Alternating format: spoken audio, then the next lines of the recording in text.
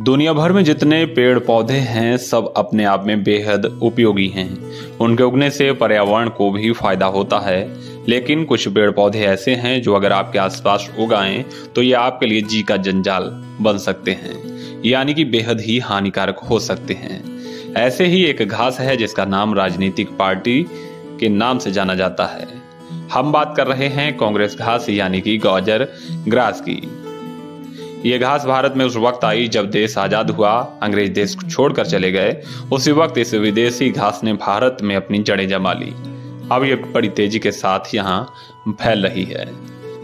कृषि विज्ञान केंद्र नियामतपुर के कृषि एक्सपर्ट डॉक्टर एनसी त्रिपाठी ने बताया कि देश की आज़ादी के बाद सोने की चिड़िया कहा जाने वाला हमारा देश दाने दाने को मोहताज हो गया। भारत में अनाज की भारी कमी हुई तो वर्ष 1955 में भारत ने अमेरिका से गेहूँ आयात किया। इसके अलावा विदेशों से गेहूँ का बीज भी मंगाया। इसी दरमियान गेहूँ और विदेशी बीजों के साथ गाजर, ग्रास भी भारत आ गई। धीरे धीरे ये तेज़ी के साथ फैलने लगी और अब आमतौर पर सड़क किनारे आपको खड़ी हुई देखने को मिल जाएगी। गाजर, ग्रास तीन से चार महीने में अपना पूरा जीवन चक्र पूरा कर लेती है। और ये घास एक वर्ग मीटर में एक लाख चौवन हज़ार नए पौधों को जन्म देती है। शाहजहांपुर से लोकल एटीन के लिए सिमरनजीत सिंह की रिपोर्ट। हमारे देश में जैसे कि शुरू में जब हमारा देश आज़ाद हुआ, उसके बाद उसके बाद जो बहुत सारे जो है बीज हमारे विदेशों से आते थे जो है। एक जो गेहूँ भी जो हमारा पी एल फोर एट्टी के अंतर्गत जो है विदेशों से मंगाया जाता था।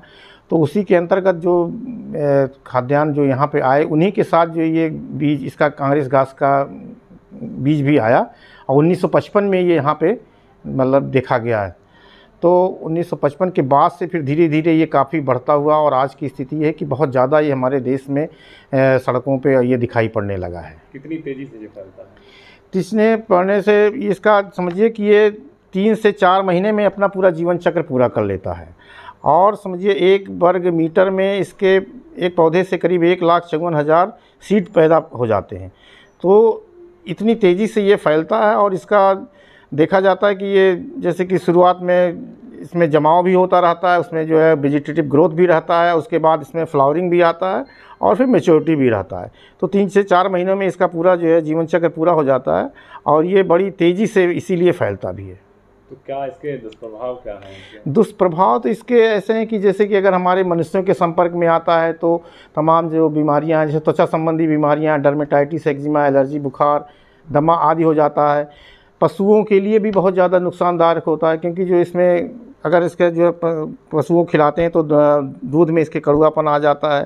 तो पशुओं के संपर्क में आता है तो उनके ऊपर भी जो त्वचा में संबंधी तमाम सारी खुजली उत्पन्न हो जाती है। तो इसलिए पशुओं में भी काफ़ी नुकसानदायक है और हमारे मनुष्यों के लिए तो नुकसानदायक है ही है।